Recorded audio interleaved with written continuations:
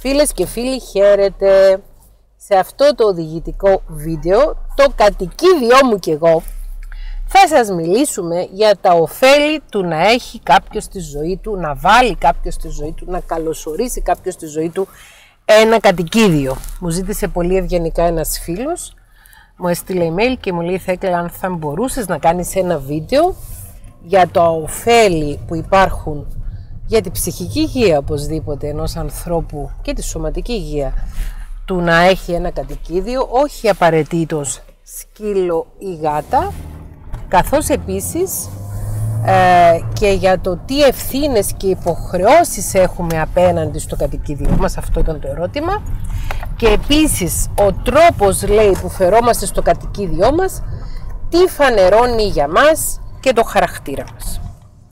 Αν μου ζητούσε να κάνω αυτό το βίντεο πριν ε, δύο χρόνια, τρία χρόνια, δεν θα είχα και πολλά πράγματα να πω.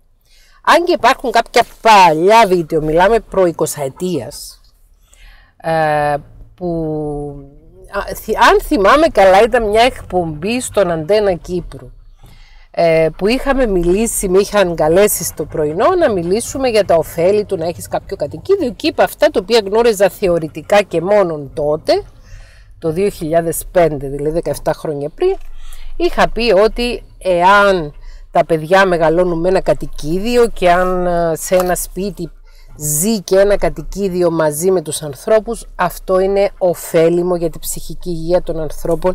Είναι κάτι το οποίο μας βοηθάει και μας κάνει πάρα πολύ καλό. Ότι το να φροντίζουμε και να ζούμε, να συμβιώνουμε μαζί με ένα κατοικίδιο μας βοηθάει να έχουμε μια πιο φυσική ζωή, πιο φυσιολογική ζωή, μας βοηθάει να ρυθμίζεται καλύτερα η ψυχική μας υγεία και η ισορροπία, χωρίς να σημαίνει ότι ένα κατοικίδιο θα μας γιατρέψει. Άστε πολλάκι είναι το αντικαταθλιπτικό μου. Αντικαταθλιπτικό μου! λοιπόν, σήμερα μπορώ να απαντήσω αυτό το ερώτημα έχοντας και κάποια πείρα προσωπική η οποία φυσικά δεν συγκρίνεται με την πείρα των ανθρώπων που ζουν για πολλά χρόνια με αγαπημένα κατοικίδια. Ε, εμείς τον, τον Απρίλιο, τέλη Απριλίου, τέλη με Μαρτίου μάλλον, κλείνουμε δύο χρόνια από τότε που γνωριστήκαμε και από αυτά τα δύο χρόνια τα έξι μήνες δεν είμαστε μαζί. Λοιπόν, ε, είναι πάρα πολύ χρήσιμο, ωφέλιμο, ψυχοφέλιμο και είναι και αντικαταθλιπτικό να φροντίζουμε ένα κατοικίδιο και να συμβιώνουμε με ένα κατοικίδιο. Είναι, ναι, είσαι χρήσιμος, είσαι ωφέλιμος, είσαι η παρέα μου. Ναι, αγοράκι μου, είσαι. Λοιπόν, ε, θα ξεκινήσω από τα πιο απλά ότι αν κοιμάσαι στο ίδιο δωμάτιο με ένα κατοικίδιο, όχι απαραίτητο στο ίδιο κρεβάτι, μπορεί το κατοικίδιο να κοιμάται στο κρεβατάκι του δίπλα από το δικό σου κρεβάτι, ε, συγχρονίζονται οι αναπνοές του ανθρώπου με το κατοικίδιο, μιλάω για τους σκύλους τώρα που γνωρίζω, και αυτό βοηθάει στο να έχεις καλύτερο ύπνο. Επίσης, ε, είναι αποδεδειγμένο και ερευνητικά ότι όταν έχουμε σωματική επαφή με τα κατοικίδια μας, όταν αγκαλιαζόμαστε ε, με τα σκυλιά μας, με τα γατιά μας, με ό,τι κατοικίδιο έχει ο καθένας, όταν χαϊδεύουμε το κατοικίδιό μας και από το δικό μας τον εγκέφαλο εκρίνεται η οκιτοκίνη, η οποία ονομάζεται αλλιώς και ορμόνη της αγάπης, αλλά και από τον εγκέφαλο των κατοικιδίων. Δηλαδή η τρυφερότητα η οποία εκφράζεται με το χάδι, με την επαφή, με το contact, επαφή δέρμα με τρίχωμα, ε, βοηθάει στην χημική ισορροπία των κεφάλων. Επίσης, η επαφή με το βλέμμα, αν κοιτάμε στα μάτια το σκυλί μας ή το γατί μας, ή τέλος πάντων τον κροκόδιλό μας, ή το καναρίνι μας, αν κοιτάμε τα κατοικίδια μας, αυτή η eye to eye contact, η επαφή μάτια με μάτια, επίσης βοηθάει στο να νιώθουμε καλύτερα. Επίσης βοηθάει στην έκκληση οκιτοκίνης και άλλων νευροδιαβιβαστών οι οποίες είναι ε, χρήσιμες για να νιώθουμε καλύτερα. Μας βοηθάνε να νιώθουμε καλύτερα αυτές οι ουσίες. Ε, επίσης, ε, όταν ζεις με ένα κατοικίδιο, όταν συμβιώνεις με ένα κατοικίδιο, έχεις ένα πλάσμα στο οποίο να μιλήσεις. Και το οποίο αυτό το πλάσμα θα σε ακούσει. Θέλει δεν θέλει. Τι εννοώ; Εννοώ ότι είναι πολύ διαφορετικό να είσαι μόνος σου σε ένα σπίτι και να μιλάς μόνος σου παρά να είσαι με ένα σκυλάκι και να μιλάς με το σκυλάκι ή με ένα γατάκι και να μιλάς με το γατάκι ή με ένα καναρινάκι και να μιλάς με το καναρινάκι ή με δύο ή με τρία. Ε, τώρα ε, έχω ακούσει ότι αρκετοί φροντίζουν να υιοθετήσουν δύο κατοικίδια μαζί, δύο γατάκια, δύο σκυλάκια και λέει παίζουν μεταξύ τους. Και αυτό είναι καλό και για τα κατοικίδια, είναι καλό και για τους κηδεμόνες τους. Εμείς ένα τον έχουμε, μοναχοπέδι είναι εδώ πέρα. Λοιπόν, ε, εγώ προσωπικά βρίσκω πολύ πιο εύκολο να μετατρέψω τη μοναξιά μου σε μοναχικότητα με το κατοικίδιο. Και βρίσκω πολύ πιο ενδιαφέρουσες τις βόλτες ή τον πρωινό καφέ όταν τα μοιράζω με τον κατοικίδιο μου. Δεν πίνει καφέ το κατοικίδιο μου, είναι εκεί και με ακούει που παραμιλώ την ώρα που κάνω τον καφέ.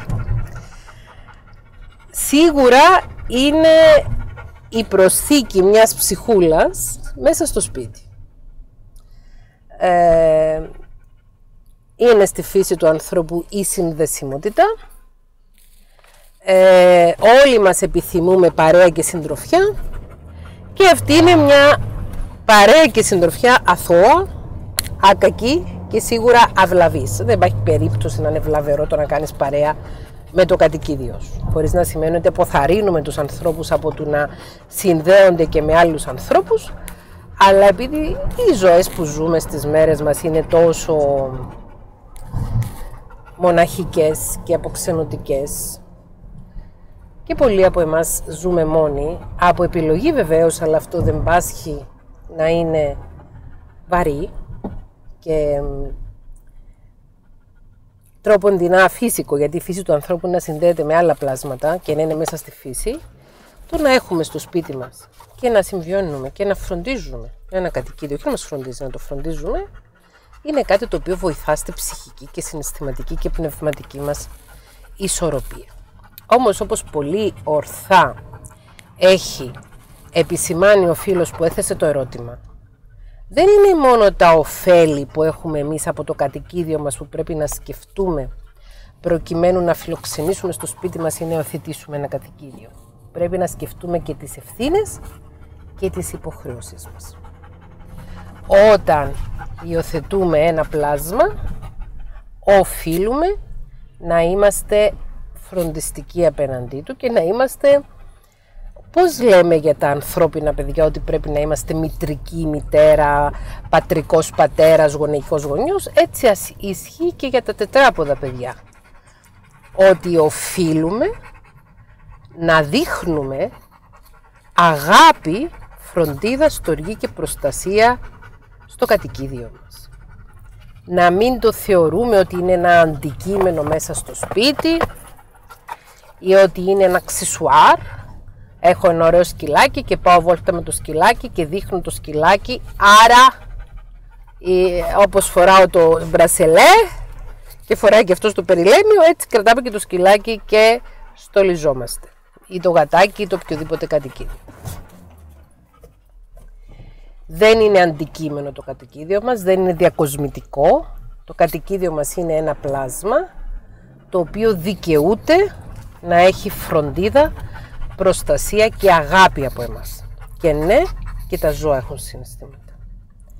Και τα ζώα βιώνουν χαρά, και τα ζώα βιώνουν λύπη, και τα ζώα βιώνουν ενθουσιασμό, και τα ζώα βιώνουν πόνο και ούτω καθεξής. Και αυτό το γνωρίζουμε και μέσα από μελέτες που γίνονται στους εγκεφάλους των ζώων. Υπάρχει, όσοι είσαστε συνδρομητές στο Netflix, υπάρχει μια πολύ ωραία σειρά ντοκιμαντέρ, η οποία έχει βγει πρόσφατα, που ε, μιλάει και δείχνει και αποκαλύπτει το μαγικό κόσμο των κατοικιδίων μας και δείχνει διάφορες μελέτες που γίνονται στα κατοικίδια που δείχνει για παράδειγμα ότι όταν ένας σκύλος ε, αγγίζει τον κηδεμόνα του και έχουν αυτή την επαφή δέρμα με τρίχωμα ότι ε, εκρίνονται από τον εγκέφαλο του ε, νευροδιαβιβαστές που έχουν να κάνουν με την αγάπη και την ευχαρίστηση και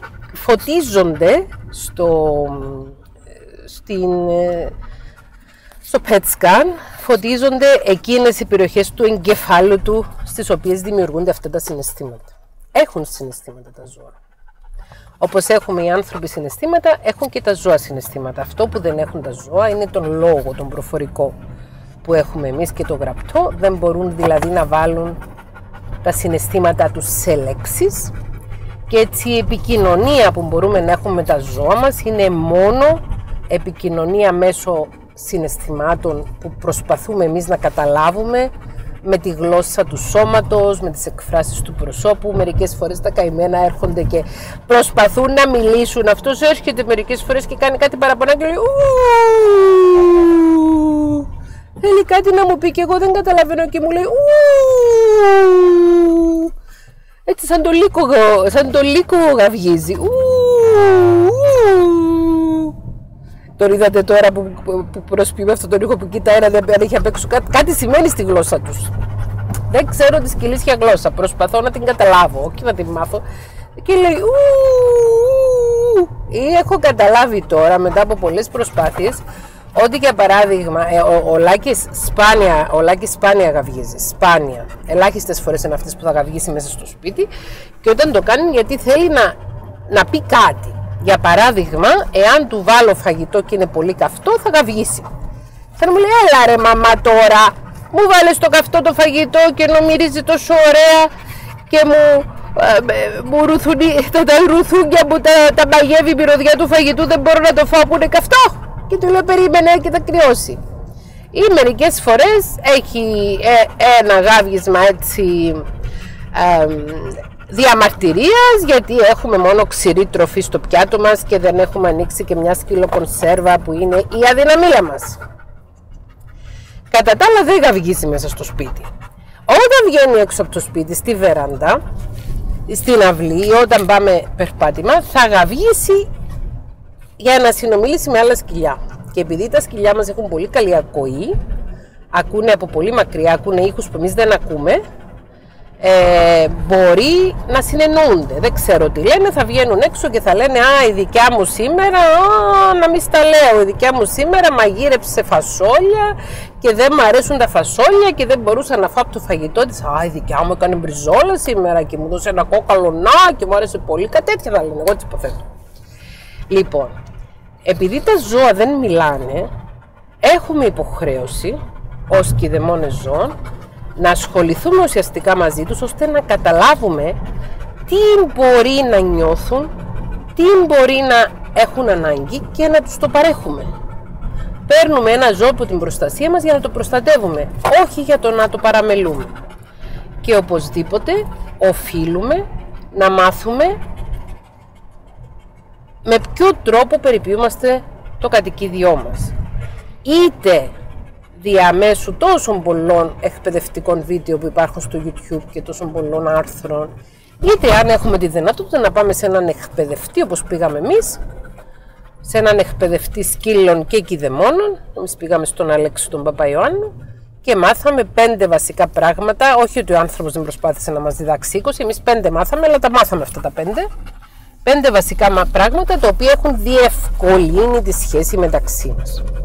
Επίσης, όπως όταν έχουμε ανθρώπινα παιδιά, είναι απαραίτητο να ενημερωνόμαστε, να διαβάζουμε και να μαθαίνουμε για τα διάφορα στάδια ανάπτυξης των παιδιών, ούτως ώστε να λειτουργούμε ανάλογα σε κάθε αναπτυξιακό στάδιο του παιδιού μας, έτσι και για τα ζωάκια μας είναι καλό να διαβάζουμε, να μαθαίνουμε, να ενημερωνόμαστε για τα διάφορα στάδια ανάπτυξής του και τι μπορεί να κάνει στον πρώτο μήνα, στον δεύτερο μήνα, στον τρίτο μήνα, στον πέμπτο, πέμπτο μήνα κλπ. ούτως ώστε να φροντίζουμε το ζώο μας επαρκώς και να το προστατεύουμε. Επίσης, επίσης. Πρέπει προτού αποφασίσουμε αν θεωθετήσουμε ένα ζώο, να είμαστε σίγουροι ότι έχουμε το χρόνο και την ενέργεια που χρειάζεται ένα ζώο από τον κηδεμόνα του. Οι γάτες από ό,τι ακούω δεν είχα ποτέ γάτα. Ερχόντουσαν διάφορες γάτες και έτρωγαν κατά καιρούς στις αυλές μας, αλλά δεν είχαμε γάτα στο σπίτι. Οι γάτες από ό,τι ακούω είναι αρκετά ανεξάρτητες. Αν τους αφήσεις φαγητό και νερό και την άμμο τους, μπορούν να παραμείνουν για ώρες μέσα στο σπίτι. Παρακαλώ πολύ, θέλω να έχω πολυθρόνα, είπα. Μπορεί να μείνουν για ώρες μέσα στο σπίτι και να να είναι ήσυχες, να παίζουν, να απασχολούνται τέλος πάντων χωρίς να χρειάζονται την ανθρώπινη παρουσία. Τα σκυλάκια από την άλλη είναι ζώα γέλης και θέλουν παρουσία, θέλουν παρέα. Γι' αυτό είτε θα έχουμε δύο σκυλάκια μαζί όπως κάνουν διάφοροι, είτε θα πάρουμε ένα σκύλο εάν είμαστε αρκετές ώρες στο σπίτι ούτως ώστε να μπορούμε ουσιαστικά να ασχοληθούμε με το σκυλί. Γιατί αν λείπουμε από το πρωί μέχρι το βράδυ και έχουμε το σκυλί μόνο του ή το έχουμε κλεισμένο μέσα σε ένα κένελ, τότε δυστυχεί το σκυλί, είναι σαν να το βάζουμε στη φύλακη. Επίσης έχουμε υποχρέωση που θα μας βοηθήσει και εμάς πολύ αυτή η υποχρέωση να βγάζουμε βόλτα το κατοικίδιο μας αν έχουμε σκύλο που οι σκύλοι είναι ζώα τα οποία χρειάζονται βόλτα και να περπατάμε μαζί με το κατοικίδιο μας έξω στη φύση. Αυτό θα κάνει και σε εμάς πολύ καλό, αλλά κάνει και στο κατοικίδιο πάρα πολύ καλό.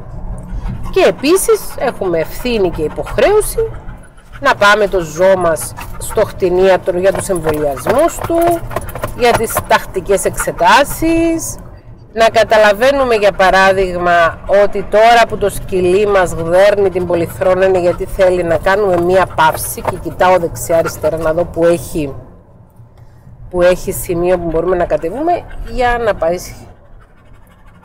πάει προς νερού του. Ναι, ναι, ναι. Θα σου βρω τώρα, τώρα θα σου βρω. Μόλις βρω σημείο που μπορούμε να στρίψουμε, μπορούμε εμείς στη μέση του δρόμου να σταματήσουμε να κατουρίσεις κυριλάκι. Πρέπει να υπάρχει ένα σημείο στο οποίο να υπάρχει πρόσβαση για να μπορέσουμε να ικανοποιήσουμε τις ουρητικές και διουρητικές σου ανάγκες. Εδώ, εδώ, εδώ υπάρχει ένας δρόμος.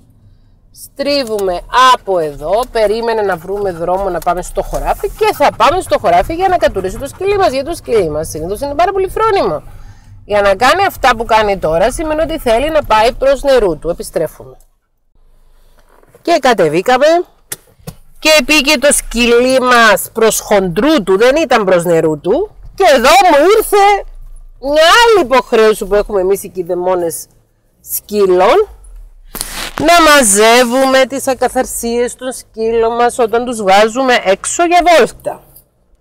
Εμείς έχουμε τροποποιήσει έτσι την αυλή μας, ώστε ο Λάκη πηγαίνει στην αυλή, έχει ένα σημείο που υπάρχουν πετραδάκια πάνω από το χώμα, πάει εκεί, το χρησιμοποιώ στο τουαλέτα και μια-δυο φορές τη βδομάδα πάω και τα μαζεύω και τα πετάω στα σκουπίδια.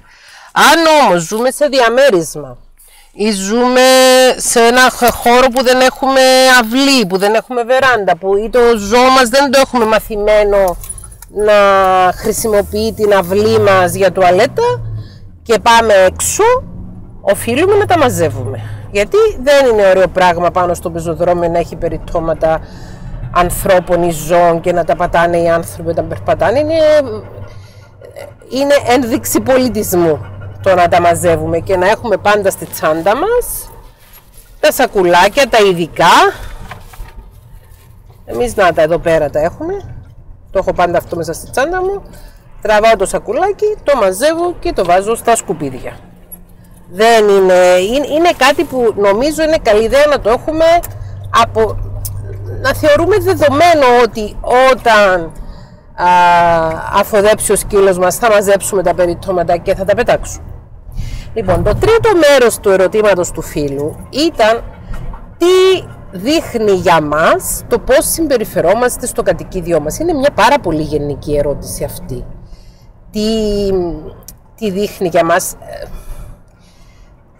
φαντάζομαι ότι αυτό που, θέλει να, που ήθελε να ρωτήσει και που ήθελε να μιλήσω γι' αυτό είναι ότι α, όπως ακριβώς και με τα ανθρώπινα παιδιά, τα τετράποδα παιδιά, τα υιοθετημένα τετράποδα παιδιά, όταν τα παραμελούμε, αυτό ίσως δείχνει ότι είμαστε άνθρωποι χωρίς συνέστηση και ότι δεν έχουμε γονεϊκότητα. Και έχουμε πει πολλές φορές εδώ στα βίντεο, στο κανάλι μας το ψυχοεκπαιδευτικό, ότι ένας άνθρωπος με ναρκισιστικό στυλ προσωπικότητας, ένας άνθρωπος χωρίς ενσυναίσθηση και ένας άνθρωπος που δεν αναλαμβάνει την ευθύνη του εαυτού του και την ευθύνη των πράξεων του, είναι ακατάλληλος για γονιός. Όπως είναι ακατάλληλος για γονιός, έτσι είναι ακατάλληλος και για κηδεμόνας ζώου. Χρειάζεται να έχουμε ενσυναίσθηση ώστε να μπορούμε να συναισθανθούμε τα συναισθήματα του ζώου μας, να συναισθανθούμε τις ανάγκες του ζώου μας και να τις καλύπτουμε όπως είμαστε υποχρεωμένοι. Το να υιοθετήσεις ένα ζώο και καλύτερα να υιοθετούμε ζώα και να μην αγοράζουμε ζώα, ζώα εκτροφής, να υιοθετούμε ζώα υπάρχουν χιλιάδες ζώα τα οποία είναι στα καταφύγια, πάρα πολλά σκυλιά, πάρα και γατιά που είναι σε καταφύγια και χρειάζονται ένα σπίτι. Επίσης αν θέλουμε, αν νιώθουμε μοναξιά και ε, θέλουμε συνδεσιμότητα με άλλους ανθρώπους ή με ζώα κλπ. Ένα καλό πράγμα που μπορούμε, ένα καλό χόμπι που μπορούμε να έχουμε το οποίο να μας γεμίζει ψυχικά, συναισθηματικά και να μας κάνει καλό και σε εμάς και να κάνουμε καλό και σε άλλους είναι ο εθελοντισμός σε τέτοια καταφύγια ζώων και η προσφορά εάν έχουμε χρημάτων και υλικών πόρων αλλά και η προσφορά ανθρώπινου δυναμικού δηλαδή να πάμε να κάνουμε volunteer ε, να εθελοντικά να βοηθήσουμε σε καταφύγια ζώων. Ε, είναι ένδειξη ανευθυνότητας και εγωκεντρισμού το να παραμελούμε το ζώο μας, το να το αφήνουμε ακάθαρτο, το να το αφήνουμε μόνο του πολλές ώρες, το να μην του βάζουμε την τροφή του, το νερό του, είναι ένδειξη ανθρώπινης σκληρότητας, σκληράδας να κακοποιούμε το ζώο μας, να το χτυπάμε. Ε, δυστυχώς υπάρχουν άνθρωποι οι οποίοι κακοποιούν τα δικά τους τα ζώα. Ε, υπάρχουν άνθρωποι οι οποίοι εξασκούν βία είτε πάνω στα ζώα που έχουν υιοθετήσει, πάνω σε ζώα ανυπεράσπιστα που βρίσκουν στο δρόμο ή πάνω σε ζώα τα οποία βρίσκουν στη γειτονιά τους ή οπουδήποτε. Υπάρχει ε, όχι θεωρία απλώς, αλλά υπάρχουν και αποδείξεις διαμέσου της διερεύνησης του ιστορικού των ανθρώπων οι οποίοι είναι εγκληματίες και αφαιρούν ανθρώπινη ζωή, ότι στην πορεία της ζωής τους δεν δίστασαν, κυρίως όταν ήταν παιδιά, να, οι έφηβοι να δείξουν αγριότητα πάνω σε ζώα. Κατά τη δική μου άποψη ως άνθρωπος και ως ψυχολόγος, εάν κάποιος μπορεί να δείξει βία πάνω σε ένα ζώο, εάν μπορεί να χτυπήσει ένα ζώο, αν μπορεί να τραυματίσει ένα ζώο, αν μπορεί να πονέσει ένα ζώο επίτηδες, αν μπορεί να σκοτώσει ένα ζώο, με την ίδια ευκολία μπορεί να το κάνει και σε έναν άνθρωπο. Δεν μ' αρέσει ο διαχωρισμός ότι άλλο, τα άνθρωποι, άλλο οι άνθρωποι, άλλο τα ζώα και ότι οι άνθρωποι έχουν μεγαλύτερη αξία από τα ζώα. Θεωρώ ότι όλα τα πλάσματα της φύσης, όλα τα πλάσματα που ζούμε στη γη, οφείλουμε να έχουμε σεβασμό, δικαιούμαστε να έχουμε σεβασμό και οφείλουμε να δεικνύουμε σεβασμό προς τα άλλα πλάσματα και δεν τίθεται θέμα να επιλέξεις άνθρωπο ή ζώο, όσους έχουμε μέσα στη ζωή μας, όσους ανθρώπους έχουμε την ευλογία να έχουμε στη ζωή μας να τους σεβόμαστε όλους, όσα ζώα έχουμε την ευλογία να έχουμε στη ζωή μας να τα σεβόμαστε όλα. Μην κάνεις στο ζώο σου αυτό που δεν θα ήθελες να σου κάνουν. Δεν σημαίνει ότι επειδή δεν μπορεί να ανοίξει το στόμα του να μιλήσει, ότι δεν, ότι δικαιούσε να το κακοποιήσεις. Επειδή ο Λακουλίνος, ο Λακούλης, ο Λακούλης, ο Λακουλίνης, ο Λακουλίνος δεν μπορεί να πάει να με καταγγείλει στο γραφείο ευημερίας. Το γραφείο ευημερίας είναι... Ε, υπάρχει στην Κύπρο κατά τόπους γραφείο ευημερίας που όταν ήμουν εγώ μικρή έλεγα θα καταγγείλω τους γονείς μου, τον πατέρα μου με χτυπούσε στο γραφείο ευημερία. Να τώρα κι εγώ, επειδή ο Λάκη δεν έχει ανθρώπινη φωνή να μπορέσει να κάνει καταγγελία σε περίπτωση που τον κακοποιήσω, δεν σημαίνει ότι αυτό μου δίνει το ελεύθερο να τον κακοποιήσω. Και θεωρώ ότι ένας άνθρωπος ο οποίος έχει πνευματικότητα ή προσπαθεί να έχει πνευματικότητα, ένας άνθρωπος ο οποίος έχει καλοσύνη ή προσπαθεί να έχει καλοσύνη, δεν χρειάζεται να του το υποδείξει κανείς ότι είναι ανήθικο και αφύσικο και εντελώς λάθος να κακοποιήσει έναν ζώο ή έναν άνθρωπο, ένα πλάσμα της φύσης.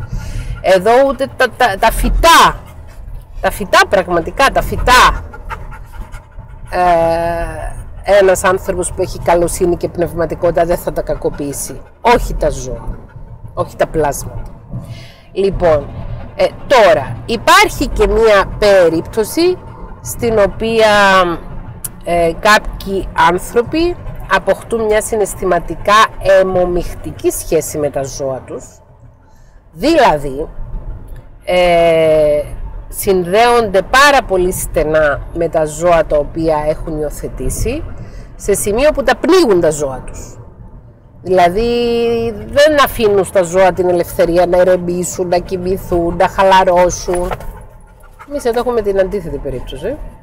Λοιπόν, ε, ε, χρειάζεται έτσι και λίγο προσοχή, όπως και με τα παιδιά μας φροντίζουμε να μην έχουμε συναισθηματική αιμομιξία μαζί τους. Δηλαδή να μην παίρνουμε από τα παιδιά μας το συνέστημα που θα παίρναμε από ένα σύντροφο, έτσι το ίδιο και με το ζώο, δεν θα παντρευτούμε το ζώο μας. Έχω ακούσει ότι παντρεύονται το άλογο τους, ξέρω εγώ, το σκύλο τους δεν ξέρω αν έχει παντρευτεί κανείς. Α, γιατί δεν παντρευτούμε το ζώο μας. Θα συνάψουμε συναισθηματικά ερωτική σχέση με το ζώο μας. Όχι. Το ζώο μας το βλέπουμε κάπου σαν παιδί μας. Το λέμε και η οθεσία ζώου. Δηλαδή η ανάλογη σχέση που ε, θα μπορούσε να αντιστοιχίσει με άνθρωπο θα ήταν σχέση μητέρας παιδιού, πατέρα παιδιού. Τέτοια είναι η σχέση μας.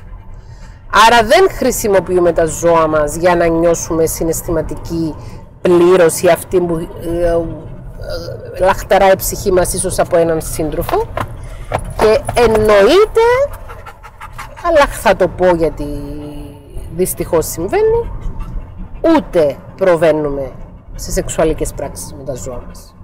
Η χτινοβασία αποτελεί ποινικό αδίκημα και είναι κακοποίηση ζώου.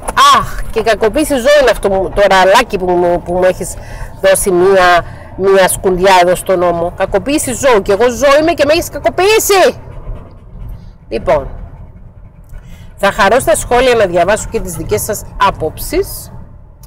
Ε, χρειάζεται έτσι να είμαστε πολύ προσεκτικοί στο πώς κρίνουμε ή κατακρίνουμε άλλους ανθρώπους. Ε, δεν μ' αρέσει να διαβάζω σχόλια ή να ακούω σχόλια τους στυλ πω, πω, πώς συμπεριφέρεται αυτή στο σκύλο της, πώς συμπεριφέρεται αυτό στη γάτα του, πώς συμπεριφέρεται αυτό στο σκύλο του, πώς συμπεριφέρεται αυτό στο καναρίνι του, πώς συμπεριφέρεται αυτό στον κροκόδιλό του, δεν ξέρω εγώ τι. Ε, ας κοιτάξουμε ο καθένας τον εαυτό του και τη δική μας σχέση με τα κατοικίδια μας. Εγώ θέλω να ευχαριστήσω και δημοσίως τον Λάκη, γιατί με έχει βοηθήσει να ηρεμήσω αρκετά, να χαλαρώσω τους ρυθμούς μου το γεγονός ότι ασχολούμαι με τη φροντίδα του με βοηθάει να είμαι πιο προσγειωμένη και πιο ανθρώπινη. Κάνει καλό δηλαδή στην ομοιόστασή μου τη σωματική και τη ψυχική. Με βοηθάει στον ύπνο, νιώθω ασφάλεια που κοιμάται ο σκύλος φύλακας δίπλα μου. Με βοηθάει πολύ γιατί κάνουμε πολύ χιούμορ μαζί και πολύ πλάκα μαζί. Είναι καλή παρεΐτσα. Είναι καλή παρεΐτσα και θέλω να του υποσχεθώ και δημοσίως ότι σε όλη τη διάρκεια της ζωής του εάν η ζωή του είναι μικρότερη από τη δική μου το πιο πιθανόν είναι ε, τα, τα, τα ζώα ζουν λιγότερα χρόνια, τα σκυλιά ζουν το πολύ 20 χρόνια, 15-20 χρόνια, 13 από 10 μέχρι 20 χρόνια ζουν τα σκυλιά. Άρα είναι πολύ πιθανό να ζήσω περισσότερο από αυτό. Σε όλη τη διάρκεια της ζωής του να τον φροντίζω, να τον αγαπώ και να τον σέβομαι σαν ένα ξεχωριστό πλάσμα το οποίο αν και είναι ανυπεράσπιστο στα χέρια μου όλα τα ζώα είναι ανυπεράσπιστα στα χέρια των κηδεμόνων τους οφείλω να το σεβαστώ. Λοιπόν είναι πολύ χρήσιμα για τη ψυχική και σωματική μας ακόμη υγεία τα ζώα. Μα, ε, μας προσφέρουν πάρα πολλά καλά το να υιοθετήσουμε ζώο μας προσφέρει πολλά καλά το να υιοθετήσουμε ένα ζώο και να συμβιώσουμε με αυτό, όμως έχουμε ευθύνες και υποχρεώσεις τις οποίες πρέπει να σκεφτούμε πολύ σοβαρά προτού προβούμε σε υιοθέτηση ζώου, σε υιοθεσία ζώου και εδώ να πω ότι όντως πάρα πολλοί άνθρωποι αγαπάνε πολύ τα ζώα αλλά δεν προβαίνουν στο να υιοθετήσουν ένα ζώο επειδή ακριβώς τα αγαπάνε και λένε εγώ φεύγω 6 το πρωί και γυρνάω 7 το βράδυ στο σπίτι. Πώς θα υιοθετήσω ένα ζώο το οποίο θα το παραμελώ και θα το αφήνω μόνο του τόσες ώρες στο διαμέρισμα να μαραζώνει; Θεωρώ ότι είναι αξιο, αξιοεκτήμητη αυτή η στάση. Είναι άξια χτίμηση και αξία σεβασμού, αξιοσέβαστη αυτή η στάση. Ακριβώς επειδή αγαπώ τα ζώα, φρο... δεν αναλαμβάνω τη φροντίδα ενός ζώου την οποία δεν μπορώ να φέρω εις πέρας. Και εγώ παλιότερα σκεφτόμουν τι ωραία, τι καλά να είχα ένα σκυλάκι, να, να καθόμαστε στον καναπέ, να χουχουλιάζουμε κλπ. Αλλά δεν είναι μόνο αυτό. Είναι και πολλά άλλα. Και όταν δεν είχα χρόνο, δεν πήρα σκυλί. Μετά μου έφεραν τα παιδιά μου το λάκι. Και καλά. Και μαθαίνουμε. Αξίζει τον κόπο πάντως. Αξίζει τον κόπο να μπούμε στη διαδικασία να μάθουμε πώς να αγαπάμε το ζώο μας και τον εαυτό μας ταυτόχρονα. Αυτά. Θα χαρώ πολύ στα σχόλια να διαβάσω επικοδομητικές απόψεις. Γεια! Πάρτε και μια αστεία σκηνή με το λάκι. είναι η καινούργια τροφή που πήραμε σήμερα. Είναι με αρνί. Δεν είναι με το όνο όπως την παλιά την τροφή, είναι με αρνί. Ε, ενδιαφέρεσαι να δοκιμάσεις; Τώρα να δούμε σου αρέσει μήπως; Μήπως σου αρέσει; Έχω πλύνει το δοχείο σου, το έχω καθαρίσει. Δοκίμασε να δούμε. Με αρνί. Χίλς με αρνί. Τη ρίχνει κάτω. Εσάρεσει.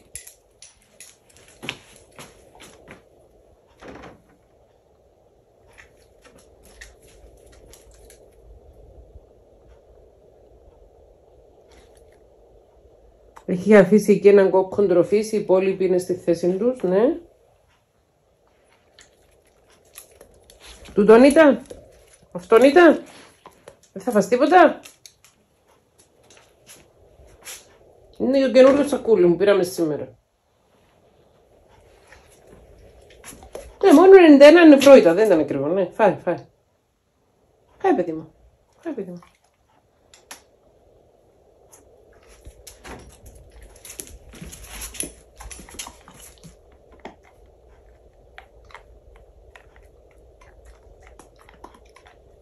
Θα τσανιστεί.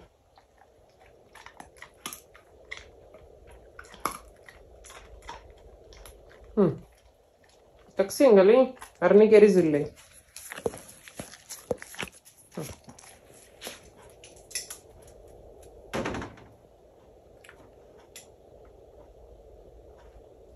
Peak heater. Ο ορισμός του peak heater κυρίες και κύριοι. Παίρνει έναν κόκκον τροφή, το βγάζει έξω από το από το δοχείο έξω από το κένελ και τον τρώει με μικρή ευχαρίστηση. Για να δείτε τι νούγκουλια αντιρίζουμε εμείς εδώ πέρα.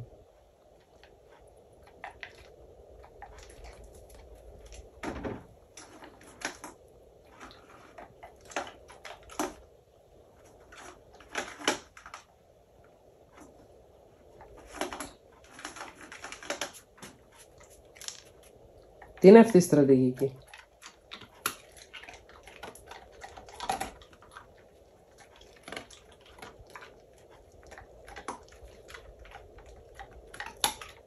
Το χριστουγεννιάτικο κολλάρωνο και βάζουμε την καινούργια τροφή.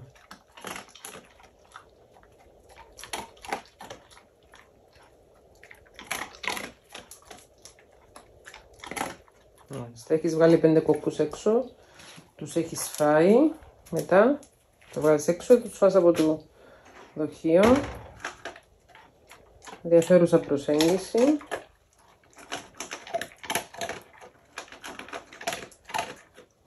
Mm Τελικά του άρεσε.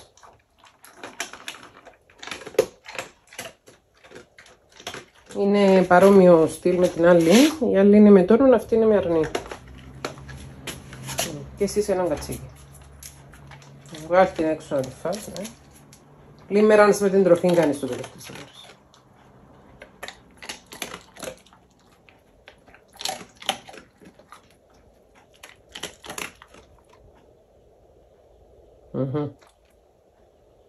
Θα φας κι άλλον ή θα απασχοληθείς με τους θορύβους έξω. Που βγάζει ένα αυτοκίνητο στο περπέρα.